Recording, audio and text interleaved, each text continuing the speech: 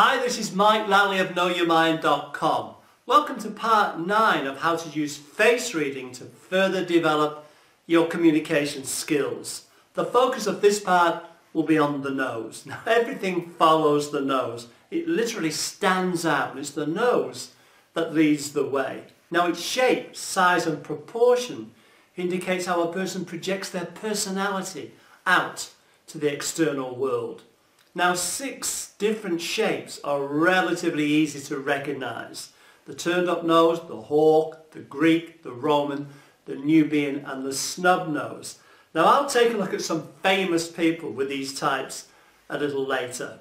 However, in fact, 14 variations have been identified, but I'll confine this just to those easily recognizable familiar shapes. So what can be regarded as a well-balanced nose, a well-shaped nose? Well, the classic Greek nose springs to mind. So it has a straight bridge, a soft and round tip, and well-shaped flared nostrils that cannot be seen when viewed from the front. And this nose signifies qualities of honesty, truthfulness and loyalty. And also the person probably has an optimistic nature. So let's look at some of the familiar types and their characteristics, but remember to compare it against the rest of the face. Now a long nose indicates a rational, logical thinker. Now they like to consider all of the options before they make a decision.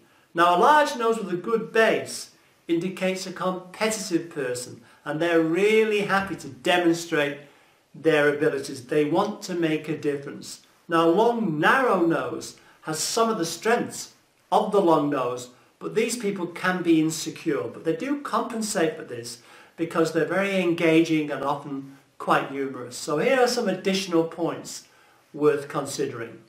Now the long-nosed person can literally look down their nose at other people. When the tip points down, this person has a tendency to be creative and emotionally nurturing. They can be skeptical and often want to see the evidence before they will act. Now, a large nose with a good base is an aspirational person and they do make excellent managers. Many also prefer to be their own boss. Now, a person with a narrow nose, this often points to a curious person. A short-nosed person is somebody who enjoys a good time, but they're often not that dependable nor too responsible. Now a broad-nosed person is stable, determined and capable and they can also apply concentration to a given task. Here are some of the points worth considering. Now the short-nosed person can be sensitive, vulnerable, but basically they are kind-hearted. They are content doing routine work and they rarely exercise their personal power.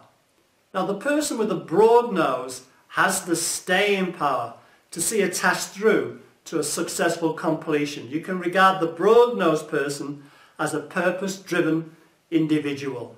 Now a snub nose or a ski jump nose, they're really easy to recognize because their nostrils are clearly visible. In fact, if you look at the nose from the profile, it has a concave shape. Looks a bit like Picasso, doesn't it? And these are happy-go-lucky people, and that's in evidence because of the way they project their personality out to the external world. Generally, the snub nose or ski jump nose is a person that can be good fun, but they can be gullible. They do enjoy helping others and will go to a great deal of trouble if necessary. They do have difficulty asking for money, and they can also have difficulty saving money and making ends meet. The focus is on service not reward, not money. Now let's take a brief look at the bridge of the nose. Now if it's a straight bridge, these people put a focus on value and service. Now if it's pointed at the end, they really want to get to the bottom of things. They will probe beneath the surface to get the information, to get the detail that they want. Now, a convex nose, sometimes known as the Roman nose, which the shape sort of goes, is a person who's a bargain hunter. They know the value of things. They're very price conscious. So if you want to deal with them, offer them a discount. Now, a nose that turns down at the end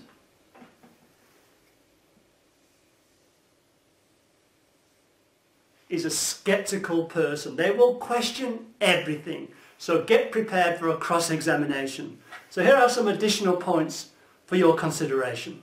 The convex nose person is excellent at delegating tasks to others. They want to be in charge and they're often very successful in business. Now the turned down nose, as I said, is a skeptical person. So they will not trust unless they see the evidence. You need to give them the facts.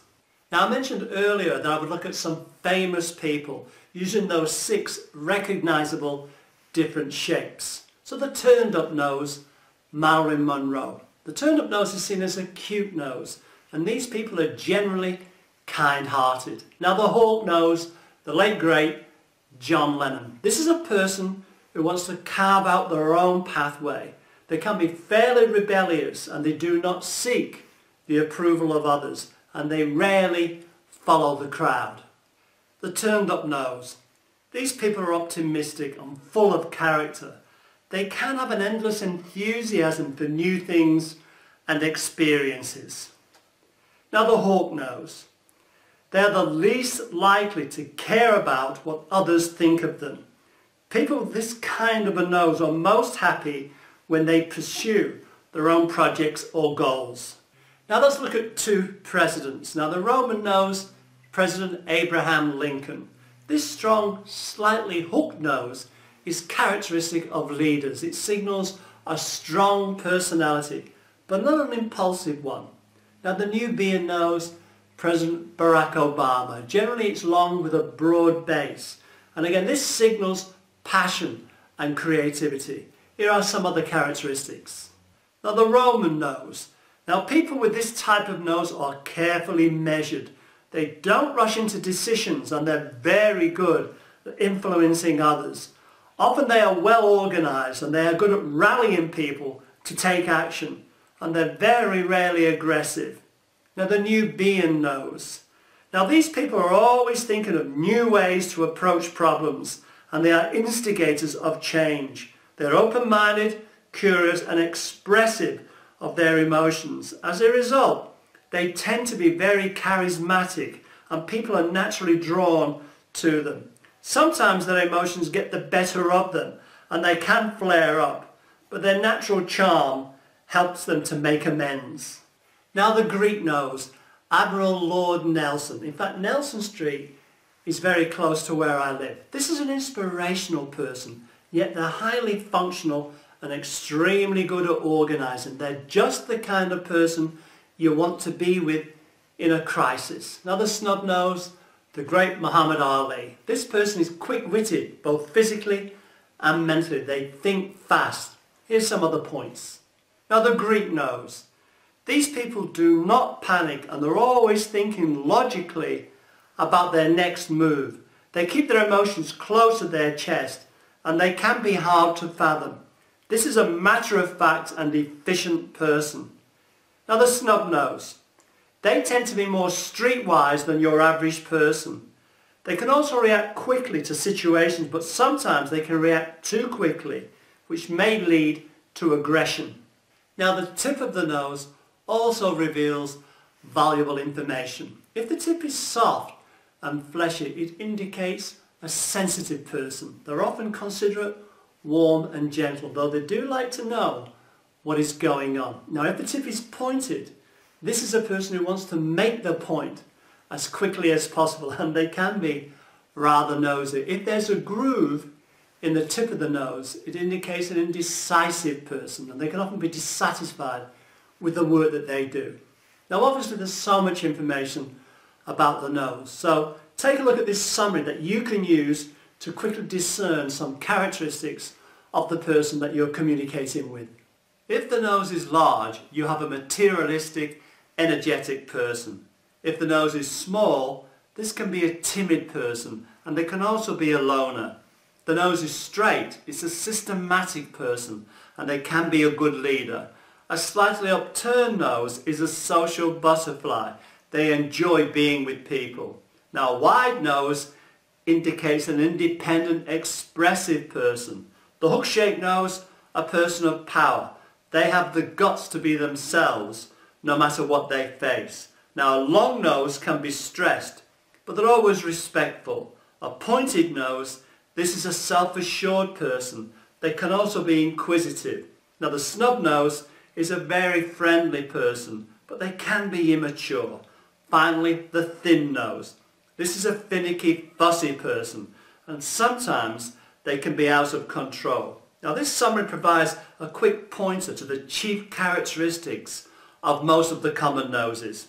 I hope it's of some help. That completes part 9. Thanks for your time. Thanks for watching. Please subscribe to my channel and visit my website knowyourmind.com and my blog mikelally.com. Make contact, leave a message if you wish. Please remember, you have many faces Let's put them to use. Let's home in on the nose to see where it may lead us. And be mindful, the face says, this is who I am. I'll be back shortly with another part. So in the meantime, take care. Cheerio for now.